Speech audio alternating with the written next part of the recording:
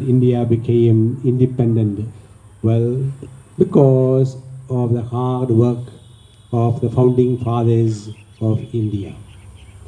Brought freedom to millions of our countrymen because of their hard struggle under the great leadership of Mahatma Gandhi. But there is also another story which is not highlighted how India became independent. We will always look at the material effort made by men and women, as well as all other things the British gave freedom to India. But you know, in 1947, we could not have good freedom, but by the grace of God. Therefore, there is one thing you and I we cannot forget is our freedom is a gift from God Himself.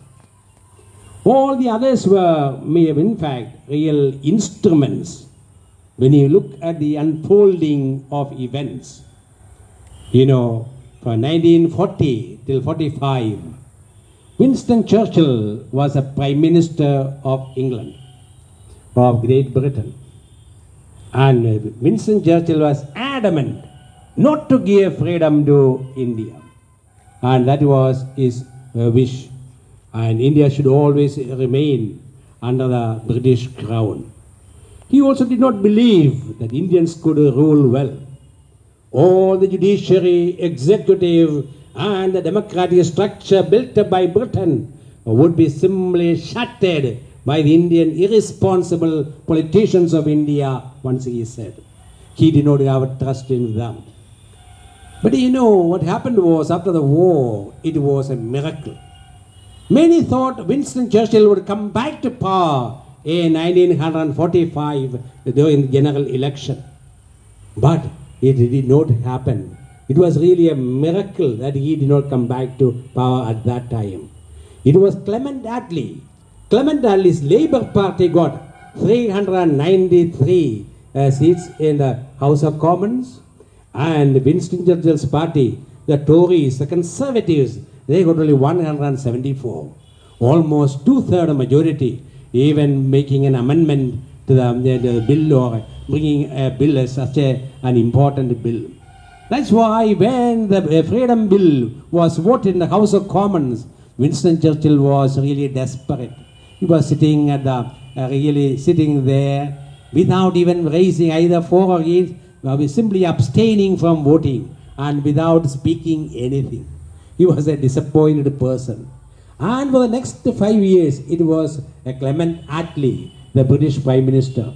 As soon as he became Prime Minister, 55, 45 itself, he called the, the, that time Lord Wavell to uh, Britain, London, and told him, what about he studied the whole matter. Then the Lord Wavell was really wavering. And he said it is very, it would be very difficult to give freedom in India, lot of problems. But Attlee was determined. Attlee uh, then immediately called him back to London and sent Mountbatten. Told Mountbatten the following words. He told him, if you can keep India united, keep it united. If you are not able to keep it united, at least gain something, get something from the wrecks, from the wreck that is happening there. And if nothing, but whatever be, and in all circumstances, make sure that uh, Britain leaves India at the earliest. Leave India at the earliest, leaving the Indians the administration. That those were the words of um, the Clement Attlee. And we know the further events that happened. Behind there is something, God's design, because there is really a Mahatma. For when God is truth and truth is God.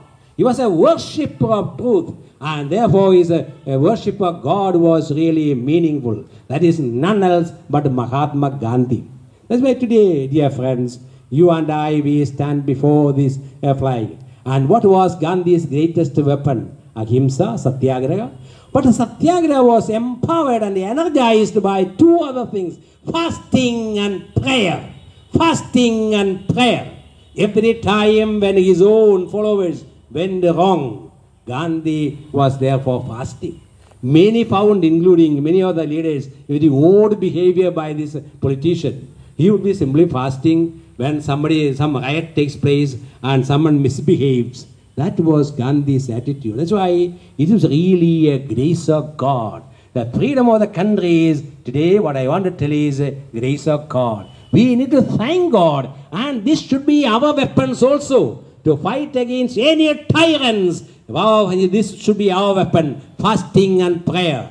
As religious, as priests, as seminarians, let us take these weapons very, very seriously because God is the Lord of history and the Lord will guide and we are on the right path. There's no place for pessimism in our world today in among us.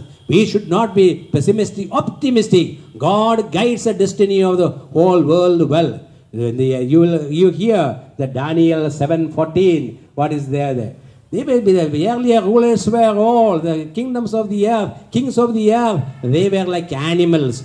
Then came someone like a son of man, and that's God's plan. In spite though so many people may come, sometimes your tyrants may come to power, but God's reign will is the last one that God will accomplish. But He needs our prayers. He needs our fasting. We have to do that. The hard struggle like Mahatma Gandhi and Jai Hind. God bless you.